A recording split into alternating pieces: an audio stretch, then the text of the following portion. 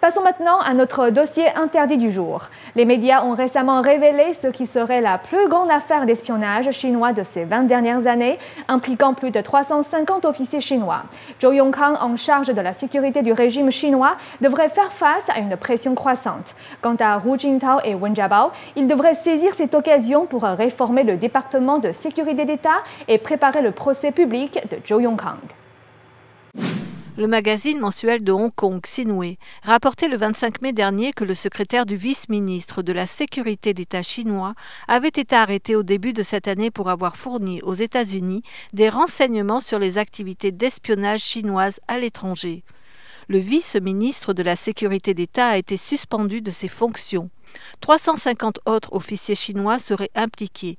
Il s'agit de la plus grande affaire d'espionnage depuis 1986. Les responsables au plus haut niveau du PCC ont été très irrités de cette affaire et demandent une enquête. Reuters, le New York Times, la BBC et d'autres grands médias étrangers ont également rapporté cette information. Selon un journaliste de la BBC, ce dossier a été révélé peu après que Wang Linjun et Sheng Guangchen aient essayé de se réfugier dans les ambassades américaines. Cela prouve l'inefficacité du système de sécurité du régime communiste. Le PCC consacre pourtant plus d'argent pour la sécurité intérieure qu'à l'armée. Pour le New York Times, il est impensable que ce secrétaire, responsable des informations les plus sensibles au sujet du PCC, ait pu être impliqué. 这说明中共的官员或情报人员有不少啊，对中共这个政权已经丧失信心，预知这个政权随时都会垮台，因此呢，希望投靠美国，不仅是为自己谋取利益，而且也是为自己寻找出路。就像那个王立军那样，他带着机密情报投靠到美国领事馆，不是为了利益，而是为自己寻找一条生路。Xiaming est un professeur en politique à New York. Il analyse cette affaire sous un autre angle.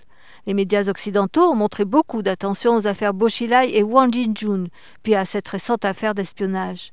Cela montre que la société occidentale s'inquiète que le contexte politique instable de la Chine puisse affecter la stabilité de l'environnement des investissements.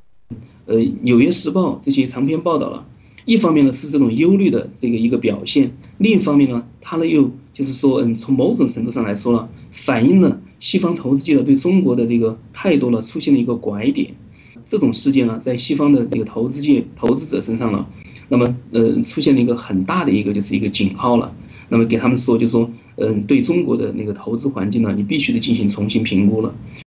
Pour le New York Times, cette affaire d'espionnage est liée au dossier Boshilai. Le journal citait un responsable américain sans le nommer. Après que l'affaire Bouchilai ait été révélée au grand jour, les autorités de Pékin ont arrêté un responsable de la sécurité nationale avec l'accord des hauts responsables du régime. L'enquête s'est étendue au ministre de la Sécurité d'État et cette affaire d'espionnage pourrait mettre beaucoup de pression sur Zhu Yangkang, membre du comité permanent de Politburo chargé de la sécurité nationale. Selon Zhang Tzu-tian, Zhu Jiankang a le contrôle sur le système d'espionnage de la sécurité nationale. Il joue un rôle important dans la lutte entre les factions du PCC.